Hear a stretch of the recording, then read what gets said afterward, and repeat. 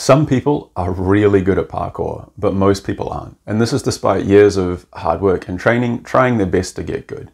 Unless you're in your first three or four years of training or you're relatively young, your progression has probably slowed down quite a lot by now. However, it is still possible to radically alter your ability level. This has nothing to do with genetics, where you train, who you train with, that new strength program you're following, a new mobility program, your mindset. All these things matter, but there is something else that can be done, something profoundly impactful, learnable, and something that is being overlooked by basically everyone. So to unravel this, we need to go back in time and look at two parkour athletes and their progression through the sport. So the first is Max Henry, a relatively well-known, pretty accomplished American parkour athlete. And the second is myself. So their starting conditions for parkour are pretty similar. Both teenagers, no particularly exceptional sporting backgrounds, training at their local spots with their friends. So five months into training, Max Henry for a beginner is pretty damn good. I don't know if he'd agree with me, but when we look at his movement patterns, just the way he's using his body, he's doing really big jumps, he's doing level Kong Prees on rails, he's doing kip ups, and the way he's moving in general is fast, it's surprisingly powerful, and it's competent. If I were to see a beginner rock up with this kind of ability level, I would be impressed. I would think, man, this guy has got a bright future. And then for some contrast, we introduce me. So this is me after five months of training. Now what you can notice about this movement in general is that it's bad. It doesn't look very good, there's a lot of things that are awkward about it. Um, and these are the best things that I'm capable of doing. It's not like I've picked my worst clips. These are my best clips. And these are the things that I was able to do. This isn't even showing the things that I couldn't do. There were no level rail cap prees for me happening in this time or big plyos or anything remotely like what Max Henry was doing at the time because he, as a beginner, was miles better than I ever was. And I'm to make some fantastic graphs to illustrate this. If we had to put our relative starting ability levels on a graph, I'd put Max Henry somewhere like this and I'd put myself somewhere down here. And I think all of us can kind of position ourselves on this graph after a few months of training, how we looked in terms of our ability. Now let's add four years to this. And we have the power of hindsight to know that Max Henry got pretty damn good after four years of training. And we can see that in his movement here. It's just really, really good stuff. His cat passes are huge, massive plyos, great control, great sticks, really just a competent movement. Everything about that speed and connection and power that we saw in his early movement has been refined. What he's good at, he's gotten better at it. And it's really a, a wonderful thing to look at. Now, let's have a look at what four years of training has done for me. And unfortunately, I still sucked. I sucked in every way that one can suck. My movement has the quality of awkwardness. And it's awkward in the same ways that it was awkward before, just slightly more experienced. All the things that didn't work about this movement three years ago still don't. This movement is ugly. It's painful to watch. And spoiler alert, it was painful to use as well. It just felt bad using this body. It was slow, heavy, and everything is slightly off balance all the time. None of the movements link together or flow together well. There are no smooth transitions. It looks disconnected, uncoordinated, and just like a bad athlete. And this was in spite of me trying really, really hard to get good. I was just unable to use a body well. And this lack of quality is the same one that was present from the beginning. Nothing has changed, it's just like the same bad thing, more experienced. I'm still, at this time, completely unable to do a cat pass or anything remotely complicated. These are, again, the best things that I'm capable of. I have improved, obviously, but there's still this quality of just not goodness to the movement. As well as this, over the course of this four years of training, I was chronically injured. I had problems with my knees, with my shins, with my shoulders, with basically everything, and these problems never left. And I actively recognized I had a problem. I tried everything within my power to solve it. I spent thousands of my own dollars seeing every treatment specialist you can imagine physiotherapist, sports scientist, massage therapist, chiropractors, osteopaths, you name it, I saw them. And what none of them ever changed was just the way I was normally in day to day, or at least not in a meaningful or comprehensive way. I had a year of training barefoot. I stretched religiously for hours at a time every single day. I was doing mobilization exercises, strengthening programs, weightlifting. I was really dedicated to solving this problem because I knew, one, that I sucked and I, I didn't want to suck. I hated that feeling. And two, the injury problems were just never ending and it made my life miserable in and outside of parkour.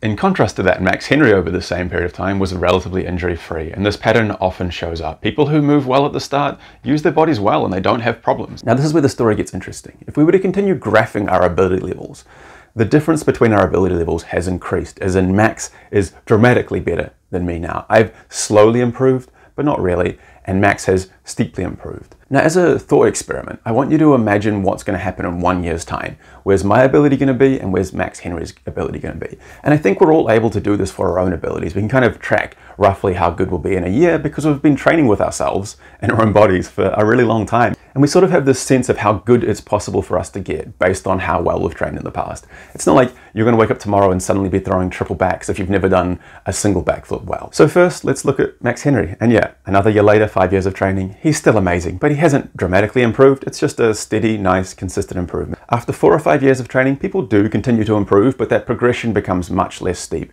Those first four years are when the most profound progression is done by athletes. So when we look at the graph of how good you expect me to be after another year, the expectation is that I will be rubbish. But Instead, what happened at that four year period is I changed what I was training. And we can see that in my movement result. I actually improved, more than I would ever thought possible. I was no longer constantly injured. I looked less like a pile of janky limbs and more like a human who can actually do stuff. And this movement is still far from perfect, but there are so many things about it that are better than before. This is the beginning of a profound process of change that was to continue onwards from this point. I was more able to connect movements together. The transitions started to have some smoothness to them. I was more able to generate force. My standing jump improved by over a foot and a half in this period of time. And I was actually able to do some flips for the first time, like front flips, etc. It wasn't that my parkour training changed. It's that what I was doing outside of parkour that changed. My graph has moved in a way that is unexpected.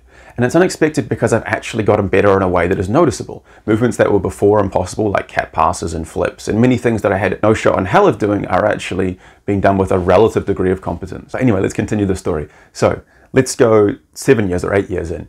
Max Henry, yes, continuing to get better, but the progression I would say has slowed down. And this happens for most people as the graph starts to mellow out. No doubt he's still an incredible athlete, but this doesn't really stand in contrast to anything he's done previously. He's still good, but he's still good at the same things in the same ways. And at this point, there's no expectation from himself or anyone else really that he's going to dramatically change his ability level. Why would he? Here we go over to myself again. Eight years in, the previous improvement trends have continued, but the difference between the past becomes even more distinguished. In many ways, I no longer resemble the person from four years prior.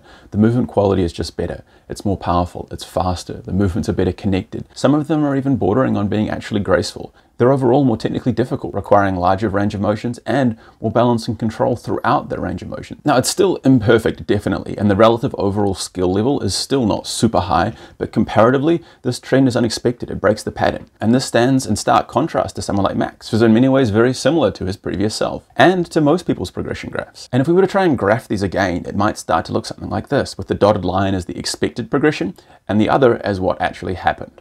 What you notice is that I've actually continued to improve on a strangely linear upwards tangent. And let's look at some even more recent clips from me. This is after about nine, ten years of training. What we can see here is that again, I'm continuing to improve and improve in a way that is not merely doing more difficult movements. I am moving better, fundamentally using the body more correctly. It looks better, it works better, it's the same trends from before, further refined. The movement has again gotten faster, I'm lighter on my feet, Everything is again more powerful, more coordinated, better balanced. And nowadays, I'm actually pretty good. I've won a couple of speed competitions at home and abroad. My previous self has almost entirely faded away. Here's a quick refresher. This was after four years training. Four years, I sucked. I should, at this stage, have been deep into my mediocre old parkour man plateau, but instead I'm doing the opposite. I'm consistently improving. Think about your own progression. Put it on a graph. Are you stuck? Have you been stuck for a long time? People think fundamental change is impossible. I'm jumping proof that this is not the case. We can change, but this change does not come from doing parkour. So the only real question left is, how did I do it? My time was spent making myself like what Max Henry was like before he started parkour. Look at him just walking around. This is normal Max Henry. As a teenager, he was doing everything right. He was standing upright. His head was on top of himself. His rib cage was round. His shoulder blades sat in a good position. His center of gravity was in the right place. He was using his body well, and that translated directly into his movement results. You can see that in his landings. He's so on top of himself. He's so square, his spine is straight, he's well supported. I, on the other hand, was almost the exact opposite. My head fell forward, my rib cage collapsed, my shoulders sat around my body, my low back curved a lot, my butt stuck out, my center of gravity was back on my heels, and all of these things carried through into my movement. When I did a movement, it looked wrong because the foundation I was using was wrong. And until I changed my starting position, my default, where I started from, there's no way to get different results than that. You just build on your foundation. So my foundation, as it changed, becoming more upright and straighter through my spine, head back on top of myself, shoulders sitting back, ribcage sitting forward, hips underneath, my abs on, my bums on, my posterior chain, all of these good things started to come in.